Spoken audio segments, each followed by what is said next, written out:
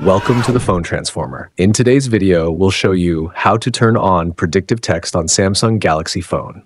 Let's get started. Step 1. First, grab your Samsung Galaxy phone and open the Settings app. You can usually find it right on your home screen or inside the apps drawer if it's not there.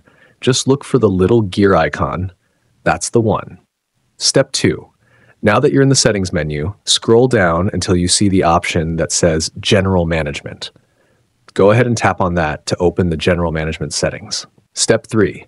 Inside the General Management menu, look for Samsung Keyboard Settings. It might be listed under Language and Input. Just tap on it once you find it. Step 4. You'll now see a bunch of keyboard-related options. Scroll through until you find the one labeled Predictive Text. Right now, this option is turned off, and that's what we're going to fix. Step 5. All you have to do now is tap the switch next to Predictive Text. Once it slides to the right and lights up, that means predictive text is now turned on. And just like that, you're done. Thanks for watching and please subscribe to the channel.